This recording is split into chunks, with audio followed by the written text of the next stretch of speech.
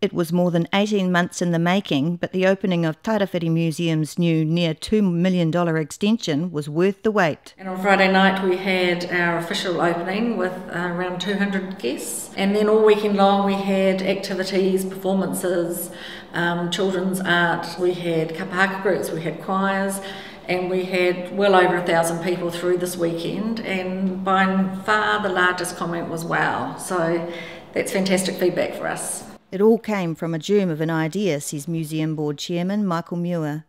Mr. Muir recalled how museum patron Professor Jack Richards first brought up the idea of a space to share his extensive collection of decorative artworks. Jack Richards is an enormous patron for the museum and a collector of decorative arts, obviously and he has got um, a fabulous collection. This is a very small um, portion of his collection on display. This will be a pretty permanent gallery with rotating objects.